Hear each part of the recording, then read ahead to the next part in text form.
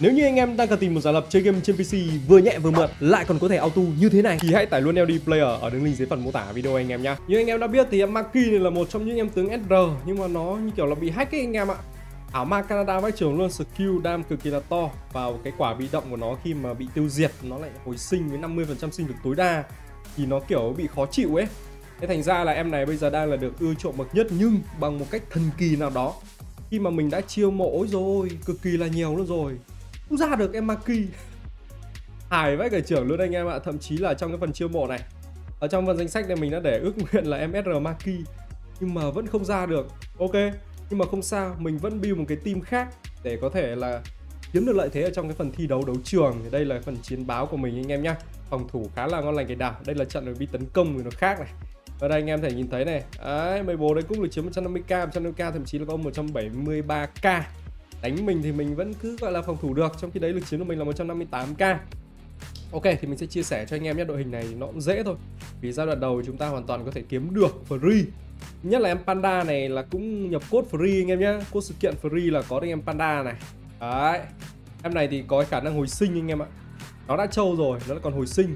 Ờ, phần đầu tiên thì mình sẽ hướng dẫn anh em vào cách lựa chọn tướng phần thứ hai thì mình sẽ hướng dẫn anh em cách build trang bị nhá. Cái build trang bị này là một cái mình thấy quan trọng quá cả nhái luôn. Đấy ok chưa? Em panda này anh em có thể hiểu được rằng là thủ nó trâu và nó có khả năng hồi sinh nhiều lần. Đấy thì đứng ở hàng trước nó rất là ổn. Tiếp theo nữa là em này anh em hoàn toàn có thể lấy được đúng không? À, cái này cũng là cốt này cốt free này có này. À, cái em này thì mình quên mất quả skill rồi nhưng hình như nó có giảm sát thương đúng rồi tăng sát thương à? À tăng 20% sát thương. Không bị động cơ. Bị động của nó. À đúng rồi giảm tốc. Đúng rồi đúng rồi đúng rồi, giảm tốc độ ấy thì cái này nó cực kỳ khó chịu luôn anh em nhá.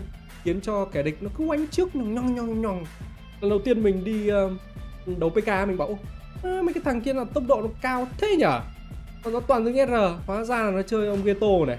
Đấy nó có quả bị động là cứ còn trên trận cái là kẻ địch là bị, bị, bị giảm tốc độ anh em ạ. Đây nội tại đây này. Giảm tốc độ toàn bộ phe địch ngay bắt cửa trưởng luôn, chỉ cần cái nội tại này là được rồi. Đó. Đấy là em từ thứ hai. Còn em từ thứ ba cũng là R thôi. Thì Frankie này thì anh em chiêu mộ rất là dễ ra. Và em này thì có cái khả năng là gây khống chế nữa. Và tất nhiên là cái tỷ lệ nó hơi thấp.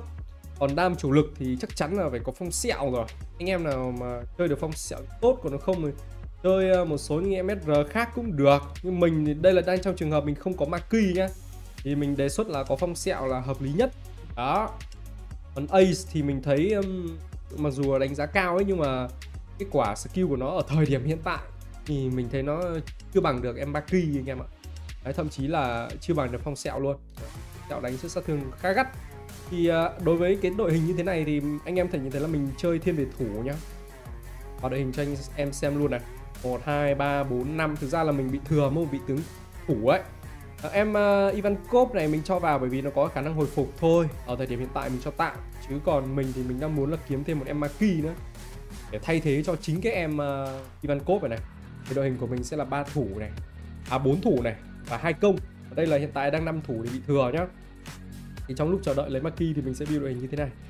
Đó Ok la chưa? Tạm thời như vậy đã. Thì uh, bây giờ sẽ cho anh em xem luôn nhé à quên nói về trang bị đã nhở?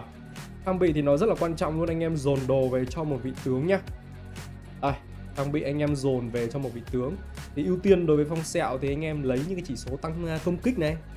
Ngon nhất thì vẫn là cái này bởi vì có khả năng là tăng tấn công. Ờ nhưng mà mình thì không có đủ thì mình chỉ chơi là uh, tấn công cộng thêm 15% này thêm uh, phòng ngự một tí thêm bạo kích một tí. Còn chuẩn ra thì mình thấy là cứ all in vào trong hai cái tấn công với cả cần rất là cần thiết ở trong cái phần tăng thêm tốc độ anh em nhé à chính là cái này này anh em này.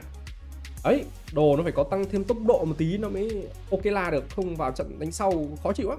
Ừ, thực sự luôn trong này cái tựa game kiểu kiểu như thế này mình thấy tốc độ quá quan trọng luôn đi. Thì đây những cái chỉ số này anh em cứ nâng được bao nhiêu nâng mắc lên cho mình cộng cao à. Dồn hết đồ cho một em đam chính là phong sẹo em này thì là vừa hệ phòng thủ nha. Với à, bốn cái vị tướng ở phòng thủ là mình đã có tăng thêm được 20% phòng ngự rồi còn em này thì cũng là thuộc phe phòng thủ đấy, nhưng mà cái khả năng tấn công nó khá ổn. Đấy, cái lượng mục tiêu rất tốt cho nên cái phong sẹo luôn. Còn lại mấy vị tướng khác kia thì chủ yếu là đây này mấy tanker này thì có thêm 20% phòng ngự nữa.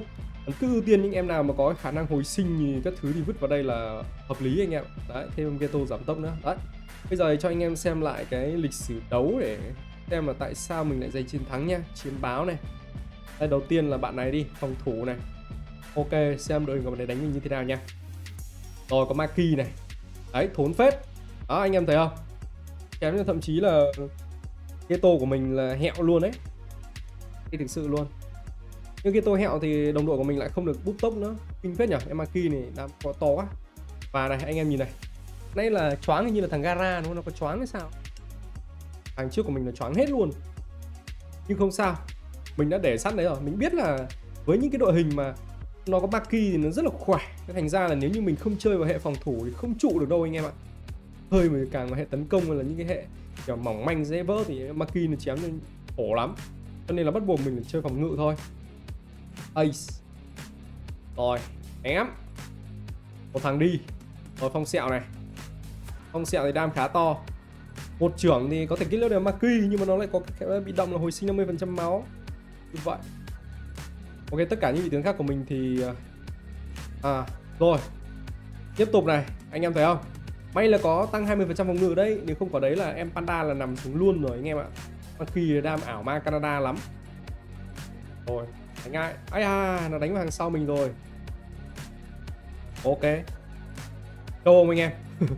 Trâu phết đấy panda hơi bị trâu luôn. À đúng rồi mình quên mất lúc nãy nói dồn đồ vào em uh, không sẹo nhưng quên mất anh em cũng cần phải dồn thêm à, hai ba đồ thủ vào cho em uh, panda nhá.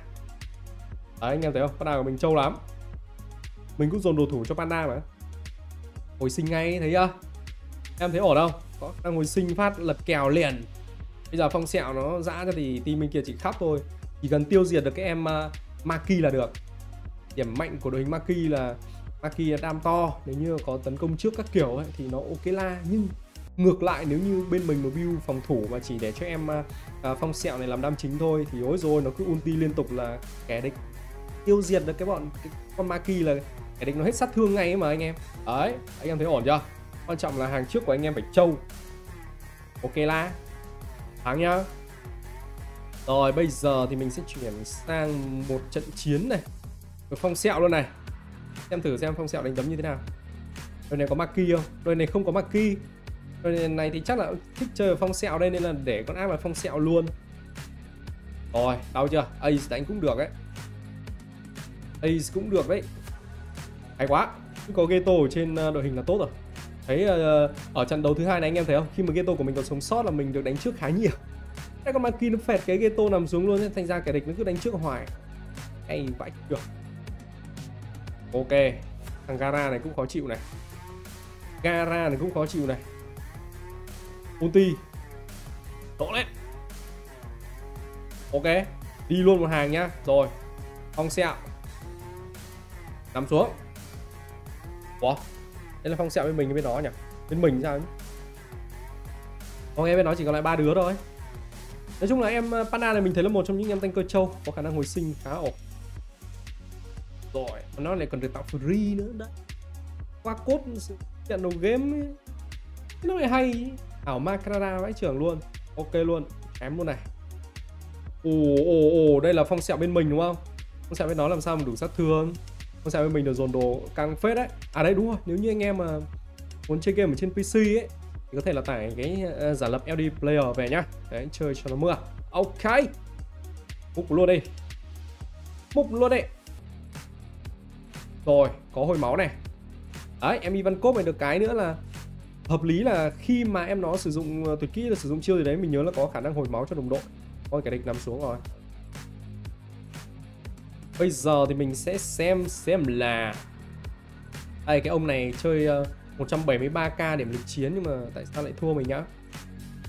Rồi à không có Maki không có Maki đúng không? Giờ này mình chỉ sợ Maki đây. Nó có hồi sinh nghĩa là đam nó to nó phẹt cho hai phẹt ulti là coi như đội hình mình có khi là nằm xuống luôn rồi. Bây giờ đá làm sao mà thâm mình, mình trâu phết. Này thì à dính thiêu đốt luôn này. Ok. Rồi. Vegeta. Em này sau lượt thứ ba mới mạnh cơ. Em này sau lượt thứ ba thì cũng khá là ok đấy. Tăng ờ, chỉ số các thứ rất là nhiều. Một phẹt. À nó đi một thằng anh em ạ. Hay à Sanji nó đá. Nó đá. Ok ok ok mày à bữa ấy. Ơ ace bên nó anh em ạ. Nhưng không sao. Không sẹo bên mình làm được không? Ui hốn không? Một ulti vẫn đi luôn được ace đấy không sẹo đánh được cái chứ. Được cái chứ. Đánh được cái chứ. Anh à bữa ấy. Ulti! Ôi luôn đâu thế ơ nhưng mà thắng này. Ủa sao không xem nó hết trận chiến này Bạc mén À hết 5 lượt nhưng mà nó không đánh được mình thì nó thua. Anh em thể nhìn thấy là đội hình ờ, phòng thủ của mình thì chơi cũng khá là hay ấy. Nhìn chung là không có Maki thì như từ đội hình phòng thủ như này mình thấy cũng được. À, Ok chúc anh em chơi game vui vẻ nhá.